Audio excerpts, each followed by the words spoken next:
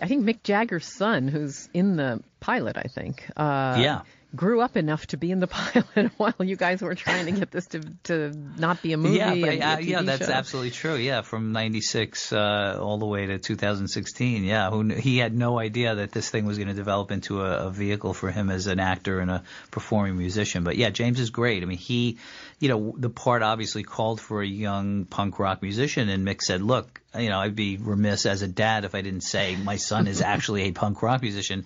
That's all I'm going to say. If you'd see him, that would be great.